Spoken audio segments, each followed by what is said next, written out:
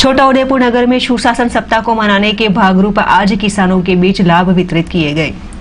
छोटा उदयपुर नगर में सुशासन सप्ताह को मनाने के भागरूप आज आदिजाति विकास गुजरात राज्य के मंत्री की उपस्थिति में आज कार्यक्रम का आयोजन किया गया था। मुख्य मेहमान के तौर पर छोटा उदयपुर भाजपा सांसद गीताबेन राठवा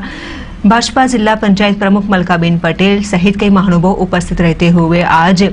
यहाँ पर विद्यार्थी सहित किसानों के बीच लाभ वितरित किए गए, जिसमें राज्य तथा केंद्र सरकार द्वारा आदिवासी विद्यार्थियों को अच्छी शिक्षण प्रदान करने के लिए मध्यान्ह भोजन की सुविधा तथा साइकिल की सुविधा सरकार द्वारा दी जा रही है। साथ ही स्कॉलरशिप विद्यार्थियों को एक ही महीने के दौरान बैंक के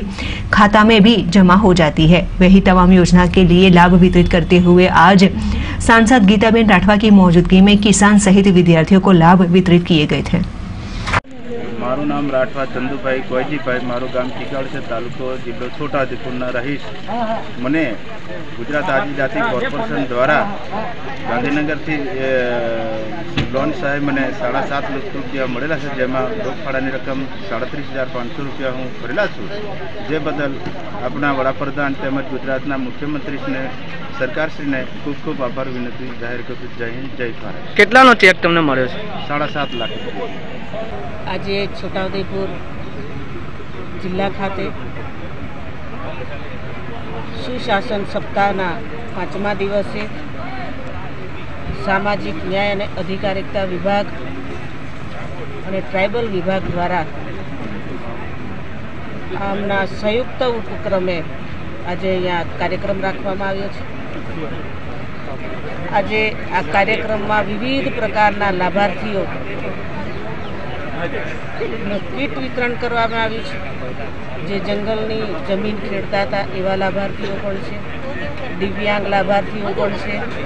આદિજાતિ વિભાગ ટ્રાઇબલ વિભાગ દ્વારા જે સાધન સહાય જે આપવામાં આવે છે જે ખેડૂતો આત્મનિર્ભર બને એવા પણ આજે ખેડૂતો અહીંયા આવ્યા છે આ જિલ્લામાં મારા આદિવાસી સમાજના બાળકો જ્યારે વિદેશ ભણવા જતા હોય તો એવા વિદ્યાર્થીઓને પણ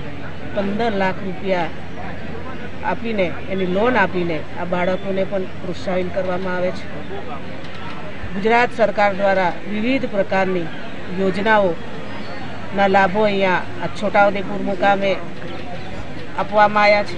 આ કાર્યક્રમમાં વહીવટી તંત્રની સાથે સાથે અમારા જિલ્લા પંચાયતના પ્રમુખ મલકાબેન, તાલુકા પંચાયતના પ્રમુખશ્રીઓ સંગઠન અને તમામ મહિલા મોરચા, યુવા મોરચાના તમામ પદાધિકારીઓ આ કાર્યક્રમમાં ઉપસ્થિત રહ્યા અને છોટાઉદેપુર જિલ્લાના આદિવાસી અને જે દલિત સમાજના તમામ લાભાર્થીઓ ખૂબ મોટી સંખ્યામાં અહીંયા ઉપસ્થિત રહીને આ કાર્યક્રમમાં લાભ